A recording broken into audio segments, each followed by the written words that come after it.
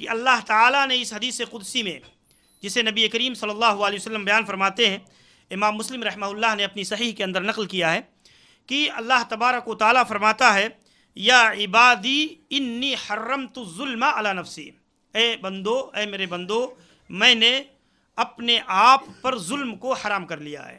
یعنی اللہ تعالیٰ کو یہ بات بیان کرنے کی کوئی ضرورت نہیں ہے۔ اللہ تعالیٰ ہمارا خالق ہے۔ ہمارا مالک ہے، رازق ہے۔ اللہ تعالیٰ کے بے پناہ احسانات ہیں۔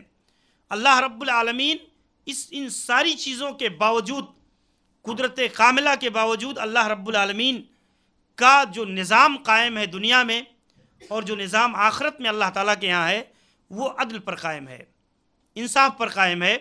اللہ تعالیٰ اپنے بندوں کو کے ساتھ پورا پورا انصاف کرے گا۔ اللہ رب العالمین اسی لیے بیان کرتا ہے کہ میں نے اپنے آپ پر ظلم اور زیادتی کو حرام کر دیا ہے اور اس چیز کو ہم نے تمہارے درمیان بھی حرام بنا دیا ہے تاکہ تم ایک دوسرے کے اوپر ظلم نہ کرو، ایک دوسرے پر کسی طرح سے زیادتی نہ کرو۔ یہ اللہ تبارک و تعالیٰ نے حدیث قدسی کے اندر بیان فرمایا۔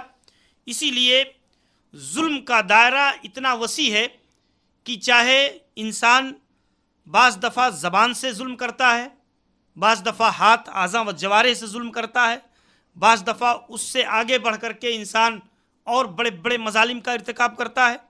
تو یہ چیز جو ہے ظلم کہلاتی ہے۔